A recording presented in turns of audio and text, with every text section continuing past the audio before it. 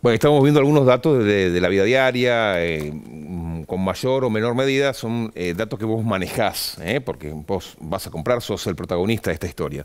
Después hay otros datos que tienen que ver con la macroeconomía que son más difíciles de entender, por eso lo tenemos a Raúl de la Torre acá, para que nos explique un poquito más. festejaban en el gobierno que durante enero lograron alcanzar un déficit cero.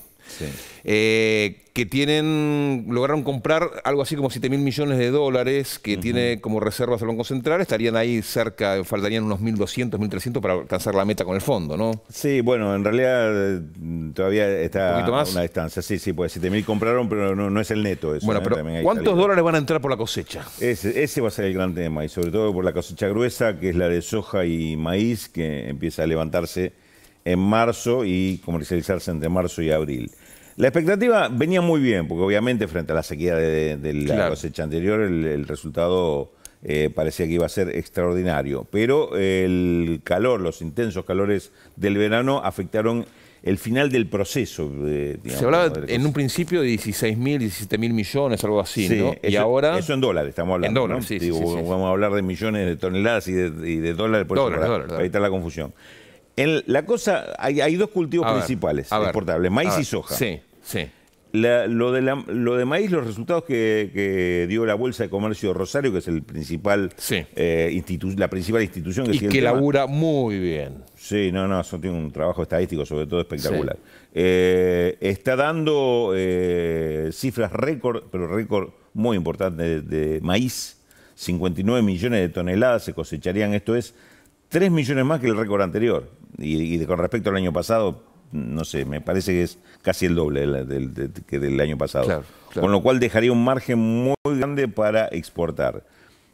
Eh, y en el caso de soja, es la que está más afectada por esta sequía. No va a ser un nivel récord, pero va a ser un nivel importante. ¿Tiene el mismo nivel de retenciones soja y maíz? Eh, no, soja, soja, tiene, más, ¿no? más alta, sí, sí. No, maíz tiene mucho más. Y aparte el precio Pero espera que, te digo, el, claro, sí. me ibas a preguntar por el precio internacional. Sí, que ha bajado un poquito también. Ahí, ahí, ahí es donde iba. no, bajó bastante, no, no poquito. ¿eh? ¿Bastante? y es una caída del 30% con respecto al precio del año pasado, a esta altura, y sigue bajando de ¿Y diciembre qué acá. ¿Despachamos o la guardamos? No, hay que despacharla. No, yo despacharía, digo, no me pongo en el lugar del productor, digo. No, no, no, no, tampoco hay... Porque ¿sabes qué pasa? Que no es, no es una cuestión coyuntural de que pasó algo con que, cambia por unos días, una semana. No, es, el tema es que, así como en Argentina vino muy bien la cosecha, también vino muy bien en Estados Unidos y Brasil. Y ya está, deja de contar, son los tres grandes exportadores de, estos granos. Es decir, hay mucha oferta y esto ahí sí, ahí sí funciona oferta y demanda ah. a este nivel. Entonces, los precios se vinieron para abajo. Están un 30% y no van a estar mucho más arriba. Pero hay sobreoferta. Hay una sobreoferta. No va a haber una recuperación de estos valores, con lo cual esa cifra que decíamos antes, que se esperaba una, una suba de 16, 17 mil, estará más cerca de los 10 mil. Ah, 10, 12 mil por, por, esta, eh, por esta carencia. En el, el, tema es que lleguen todos juntos, ¿no? No van a llegar todos juntos, lamentablemente. no. van a llegar todos juntos, ahí van a empezar las tensiones con respecto a, esto que decía. Del dólar, Vendo, no vendo, lo, guardo, Este, cuánto vendo. Porque aparte recordemos que el productor recibe, ¿cuánto está el dólar oficial? 800 y pico ahora. Eh, a ese precio lo recibe. En el caso de que tenga retenciones, menos.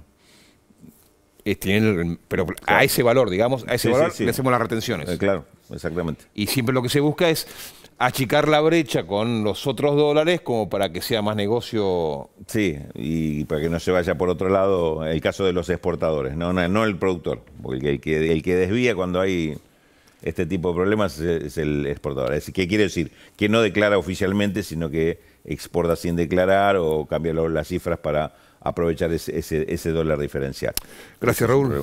Bueno, estaremos atentos. Todavía tenemos un trecho. esto, para el mes de marzo, ¿no? Sí, para marzo. para ir a marzo y abril también. Y abril también. Seguimos.